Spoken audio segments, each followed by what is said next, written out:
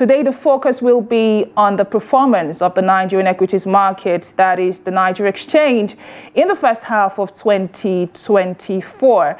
And I believe we have some statistics that we should display on the screen that according to statistics, the All Share Index, which is the broad index that measures the performance of the Nigerian stocks, opened the trading half of the year in the month of January, as you can see displayed right there at 74,773.77. That is the Share Index that we started the year with. And we also did see uh, the market, you know, go through a tumultuous time, I must say. However, we did see the market end uh, the month of June with the share index at 100,000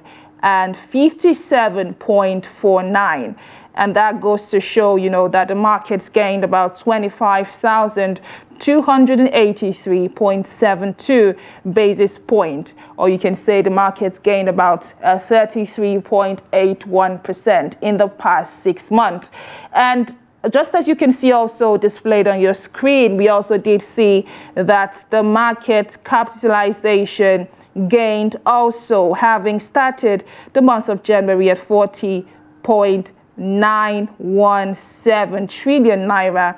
And also, we did see the market capitalization and the first half of 2024, that is, end the month of June 2024 at 56.601 trillion naira, going to show that the Nigeria exchange also had gained talking about the market capitalization at end uh, about 15.684 trillion uh, naira. And I had stated earlier that this is not to say that the market didn't have, you know, a tumultuous time. However, good to see that certain level of gains were recorded within the NGX. And joining me now to discuss, you know, the growth that has been recorded, that is over 33.81% uh, for the first half of 2024 recorded by the Niger Exchange. I'm joined now by my guest who is an investment analyst, Akolade Taofeeq. Thank you for joining us on Business Daily this morning. Good morning. Good morning, Chiamaka. Thank you for having me. Thank you, Mr. Kolade, for coming on the program. You have heard the data. I mean, like they say, data never really lies. Uh, the Nigeria Exchange has had a very tumultuous uh, month or year, I should say, the past six months. So many policy, you know, introductions. So much really has played out. But good to see that the market ended having gained about 33.81% in the first half of 2024. And let us hear from you now. How would you assess the performance of the NGX in the past six months? Uh, thank you very much. Uh, that is expected. The bullish trend we witness in the market is expected uh, because uh, what we have seen in our market, we notice that we've seen a kind of a renewed buy interest uh, from the domestic investors, which is a combination of uh, high net worth individuals and then the retail investors, and a couple with the activities of the institutional investors. We are also beginning to see uh, renewed buy interest for the bond portfolio investors uh, starting from the month of February. If you look at the data from the month of February, we've seen increased participation from the foreign portfolio investors. By the time you look at all these factors together, uh, they were actually responsible uh, for the bullish trend and the positive trend we have seen in our market uh, in the last six months. So we are also expecting more to happen in the second half of the year. You have referenced, you know, the, the, the introduction, I should say, or investors' confidence increase, especially uh, after the month of February. But what would you say is the major reason that drove the, you know, renewed investors' confidence that the markets witnessed? Okay, if you look at the results being posted by most of the companies, especially the banks, in the that's the financial year of 2023, uh, the result turned out to be very good. We've seen good dividend declaration from the FUGAS, that's the the the top banking stock of this country, the GTB, the Access Bank, the UBA. If you look at the uh, what they have declared in terms of dividends, they have been very impressive. We have also seen the strong performance from the companies, that's the banks and a few other companies that have the year of December that also turn out to be very good. So these are the things that really serve as catalysts to the market, and that is what actually uh, brought renewed bank interest into into the market because investors wanted a good return from their investment, and once that is established in the market, you see a lot of funds coming into the equities market. That is exactly what happened in the equities market in the first half year of 2024. Okay, you have referenced the performance of banks. Specifically, you mentioned the Fugaz uh, banks, that is the First Bank, the UBA Bank, the GT Bank, the United Bank for Africa, and Zenith Bank. But would you say that the recapitalization policy played a role in, you know, the performance of the banking sector and the earnings reports that, okay, we saw earnings report as well, but would you say the recapitalization policy uh, played a role in the success or the growth recorded by the banking sector? Uh, yes, it's also it's also uh, led to that performance in the banking industry because the capitalization exercise will also increase the market capitalization of the banks and it will also give them more fund for them to be able to do business. Don't forget the banking business is a loan and advances and then they also have other uh, sources of income. But the loan and advances is the core business banking of the banks. So the capitalization exercise will help the bank. And then if you look at what happened in 2020, between year 2023 and 2025, uh, when the CBN uh, mandated all the commercial banks, at that time it was more of a consolidation and recapitalization.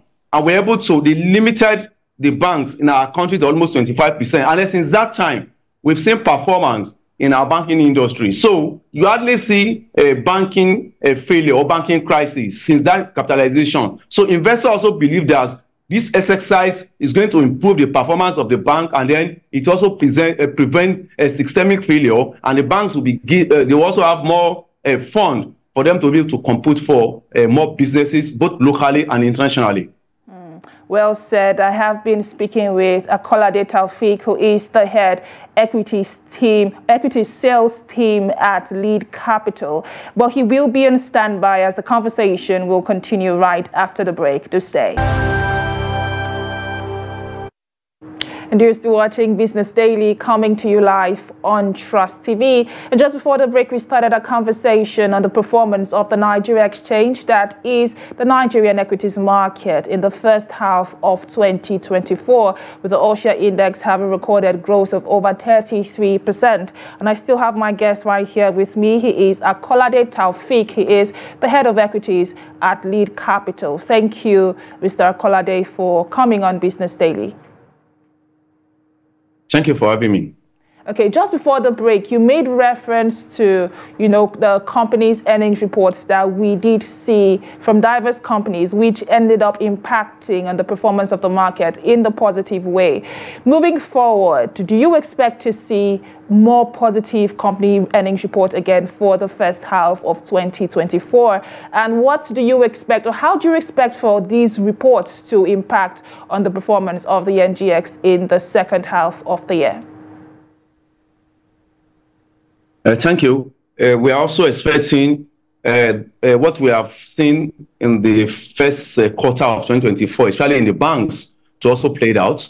By the time we see the second quarter results from the major index, which is the banking index, we're expecting that to also serve as a catalyst to the markets because the performance in the Q1 from the banks has been very, very impressive. So except the companies that are, are facing problem of macroeconomic problem, the those in consumer uh, sectors of our market. But for the banks and insurance, uh, where the market is expecting a positive uh, performance from those securities under those two major indices, the banking and insurance, even in, in agri, from what we have seen in the Q1. So the second quarter result or the half-year result of the banking, insurance, and agri sector, we are also expecting it to be also to impact positively in the market as we witnessed in the first quarter of 2024. Okay, let us touch on, you know, the listings that we saw, or listings and delisting that we saw in the first half of the year. We saw quite a number. One of the major ones was obviously uh, Transcorp Power. How would you say that impacted, you know, on the performance of power stocks and power, um, the power sector as a whole in the first half of the year? Okay, thank you. Uh, uh, we can, if you look at the listing and the listing from the market, uh, in terms of looking at the market performance, you cannot actually use the capitalization, that's the listing and the listing to determine or to adjudge the performance of the market. Uh, what we usually use as a key barometer is the ASI. Of course, we saw some listing in the market, the power, that's the transport power. Of course, it's going to increase capitalization of the NGX as a whole, and then it will also increase capitalization of the what of the uh, power sector or uh, the industrial segment of the market. But that will definitely do to the market is that it will give investors who are also willing to diversify their investment other than taking position in equity in banking stock insurance. So they have flavor of other stock. So that is what that will do to the market. So those who have been uh, anticipating the listing of the power company in the market, they have options and they have opportunity to invest in the power. But give and takes, that will also increase market capitalization and also increase the all share index when we see uh, interest, buy interest in that in, in, the, in, the, in the power uh, listing companies. Well said, Mr. Taofeeq. You have touched briefly on the sectors that you expect will have, you know, a relatively good performance in the second quarter. You touched on the banking sector. You also did touch on the insurance sector. But I'd like for us to touch on, you know, sectors that you expect will have some challenges or struggles uh, moving forward. What would those sectors be?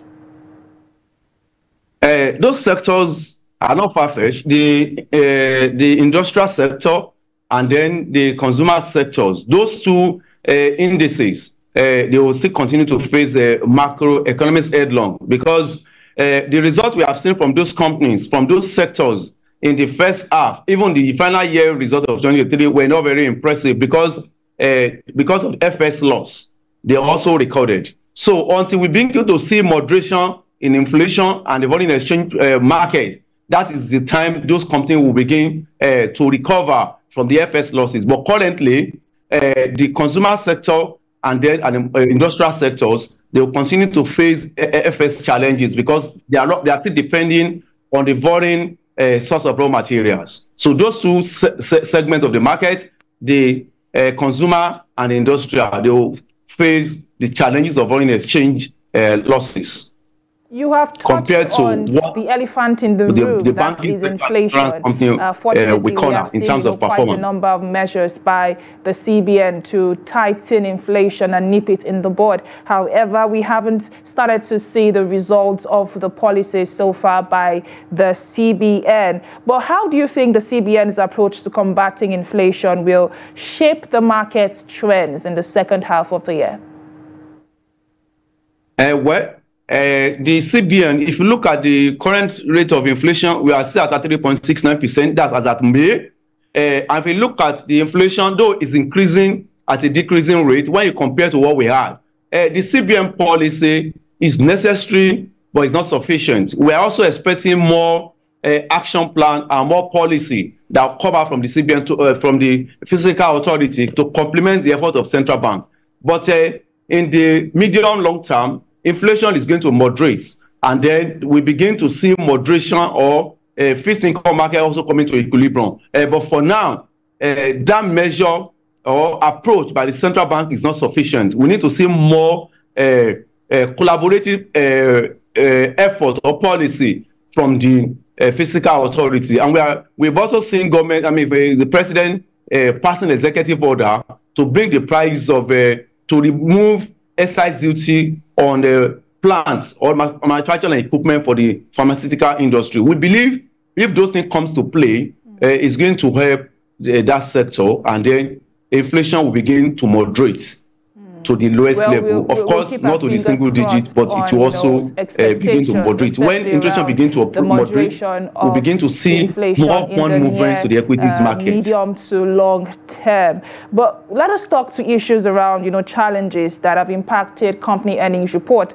Uh, like you stated earlier, we saw quite a number of positive reports, but we also did see um, reports that were not so encouraging. And most of these reports had, you know, the problem of FX losses and uh, um, challenges around forex specifically. So I would like for us to talk to you know companies that incur substantial FX losses in the past year. Will these by any means, or in the past uh, first half of the year, will this by any means impact their performance now going forward the second half of the year?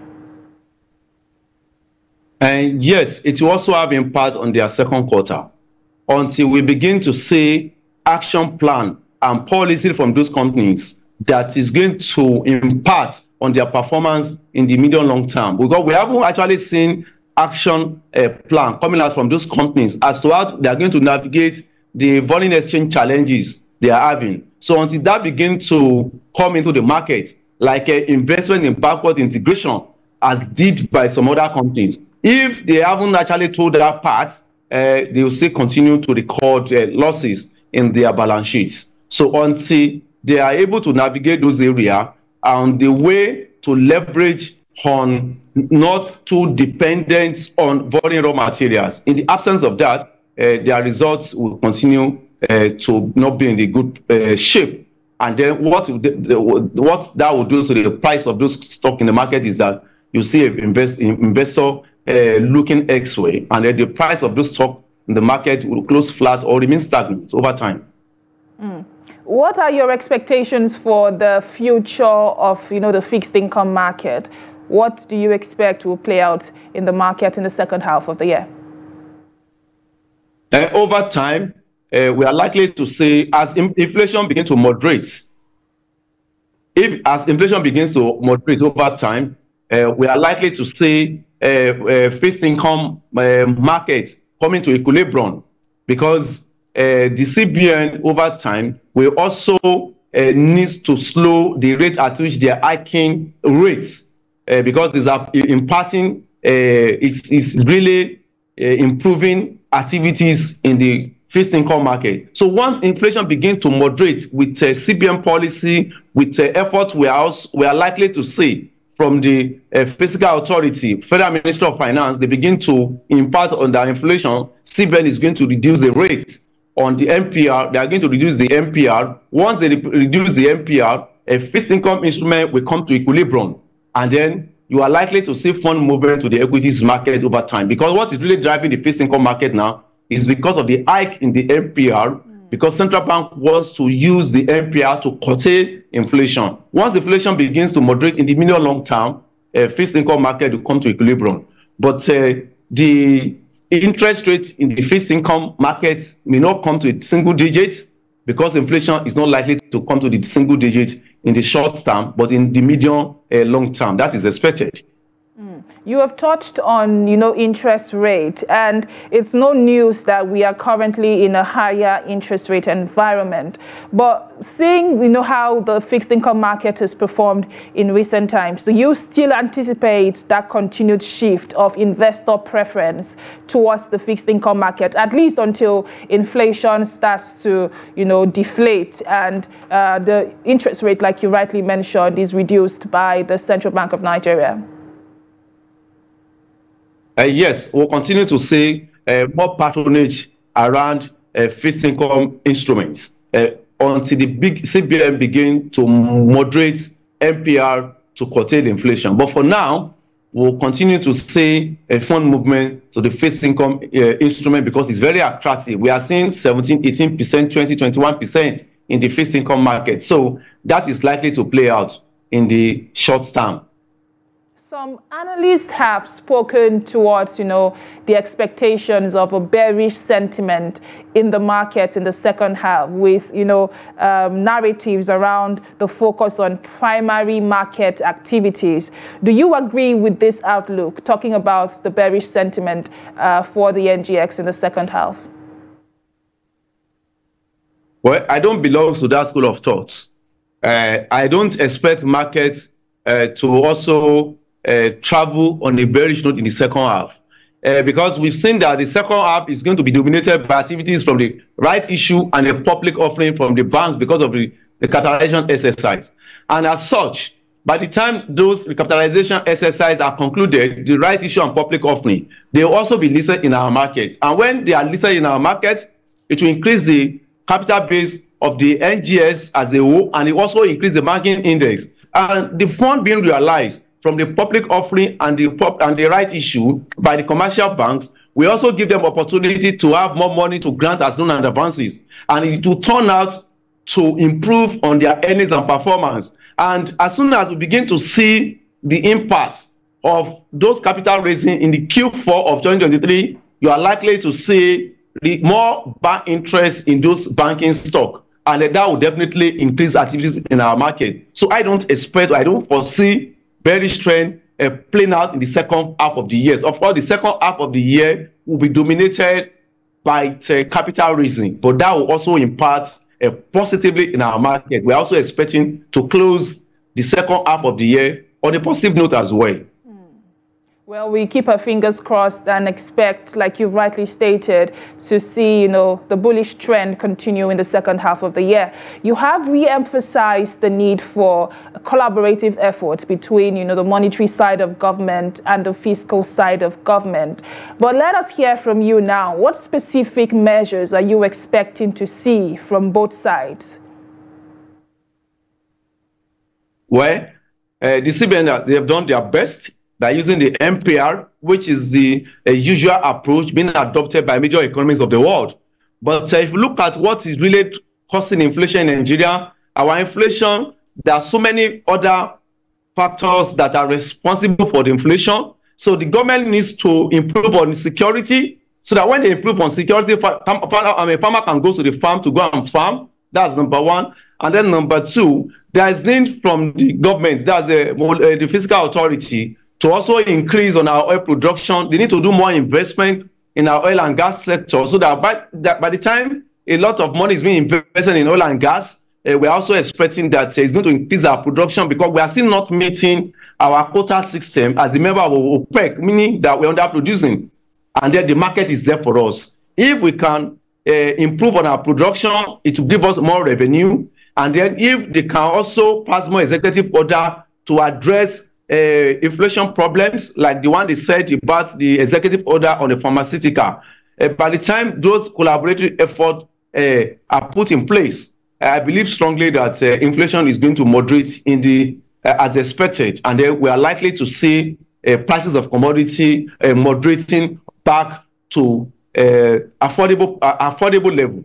But as at now, the effort of the central bank is not sufficient, though necessary but uh, more collaborative policy and efforts is required from the uh, fiscal authority. If those things are being put in place, I believe over time, inflation will begin to moderate and we are going to see the impact in our market and our economy generally.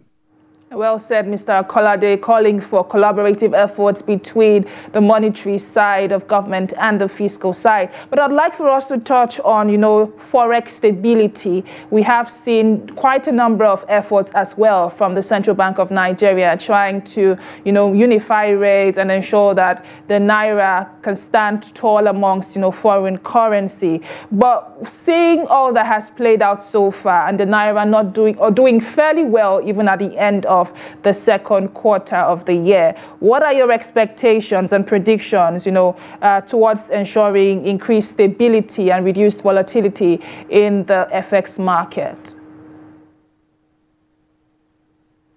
Okay. Uh, if you at least what we have seen is uh, compared to where we are coming from, we've seen some kind of stability. Even though for us to know whether that we've seen uh, real stability, at least we have to look at that within the six period of six and 12 months. Uh, but if government continue on this uh, trajectory, the effort they're putting in place in FX market, uh, we believe over time the market is going to be stable. And uh, just like I said, in the, we, we, we, have, we have also seen uh, increased participation from the volume portfolio investor uh, starting from the month of February. If there is stability in the foreign exchange market, we are expecting more funds into Nigeria, both in form of a foreign direct investment and a foreign portfolio uh, investment. So if they can continue uh, uh, improving supply, because the challenge we have in FX market is about supply and demand distortion. If central bank can increase supply, how do we increase supply? That thing goes down what I've said about increasing oil production, all various sorts of uh, dollars foreign exchange earnings, we need to improve upon those areas so that we can earn more money in form of foreign earnings. And then that will help us uh, to increase supply to the foreign exchange market. And we'll, we are going to see moderation if we, we can increase supply. And that will definitely impact on our market and our economy generally. I would like for you to speak towards the recent directive by the Central Bank of Nigeria, still on ensuring that we have some form of stability in the forex market, where the CBN released a directive last week asking uh, financial institutions, commercial banks, as well as you know uh, money deposit banks uh, to rather give out uh, monies in naira rather than foreign exchange, rather than uh, foreign currency. What are your thoughts on this uh, directive by the CBN, and how do you foresee this playing out in the short to medium term? Uh, well, everything still go down to uh, problem of supply, uh, because to me, a central bank they are still using that tools, they are still using those methods because of the challenges of the foreign exchange market we have. We still don't have enough they are trying to prevent illegal activities within the system. But to me, uh, that policy, I believe, is going to be is going to be a short-term policy. Uh, that is not the best for our economy uh, because you cannot actually constrain people uh, from uh, taking money in foreign currency. So, but because of we are short supply of the foreign currency, we are short supply of the, of the dollar. So CBN is trying to block all the leakages to ensure that uh, uh, FX is actually going to those who needed it for genuine businesses. So to me, uh, let's see how it plays out, but it's going to be a short-term measure. The major effort we need to do is to ensure we increase oil production, we increase our earnings, and then we also solve inflation problem. And then all those policies we need to put in place to attract more foreign portfolio investors and foreign direct investments are put in place. If those is in place, I think those one, they are sufficient policy all these issue of a stopping ban from exchange, they're just temporary measures. They cannot address our problem. So I think they still need to go back to the drawing board and focus on the main issue other than using those uh, uh, policy to uh, maintain or to bring stability to the country. It cannot work. It can only work for the short term, but it's not a long term uh, or uh, medium or long term solution you have re-emphasized the need for increasing supply, you know, increase in capital raising initiatives, increase in foreign direct investment and the likes. But I'd like for you to appraise the current business environment in Nigeria. How attractive would you say, or how easy is it to run a, a business in Nigeria? We recently saw Total Energy speak Angola over Nigeria, talking to issues around, you know, policy inconsistency and, you know, even skills and skills acquisition across across board. But how would you appraise the current business environment in Nigeria and how attractive is Nigeria in the eyes of foreign investors? Well, uh, it's still it's still very tough. We, we haven't gotten there, but I believe over time we'll get there. Uh, because if you look at uh, uh most companies, we've talked about uh, uh, consumer and industrial companies that they are facing foreign exchange problems. So, and when such things happen, what is likely to happen is that you see companies downsizing because they want to cut costs to meet up in terms of increasing their performance so that they will reduce the losses. The business environment has been very tough uh, because inflation is really affecting companies. The cost of materials are, is going up. FX is also not stable. Uh, but be, I believe strongly that uh, if government can also improve on some of these policies they're also bringing out, uh, it's going to improve. But currently, business, business environment is very tough, other than the banking insurance and the few uh, sector, the consumer and the industrial sectors, they have been facing problems. So capital raising is one issue. Look at the cost of borrowing. Now, the cost of borrowing for the corporate uh, bodies now is around 20, 23%, because if central bank uh, treasury bills is giving 20, 21%, for any, which is a risk instrument. So any company that want to come to the market to raise money, you'll be looking at a higher interest rate. You have to put premium to attract uh, investors. So how do you want to, to operate in an environment where the cost of borrowing is around 25, 30%? So the business environment is still very tough. So more need to be done by the government to bring stability to the foreign exchange market. And then inflation also need to be to, to, to be brought down. And then the other things like uh, uh, uh, what do you call it, securities and other things that can discourage foreign uh, direct investment in Nigeria need to be addressed. But currently, the business environment is also very tough. From result we have seen from companies that are not even in financial service firm. Thank you. Well, like you've said, we remain optimistic and do hope to see, you know, the right policies being put in place to ensure that Nigeria's business environment is attractive to foreign investors. I have been speaking with the head of equities trading uh, at uh, Lead, Cap- Lead, uh, Lead Capital, uh, Kolade Taofeeq. Thank you for all the insight you've shared with us on today's edition of Business Daily. Thank you very much.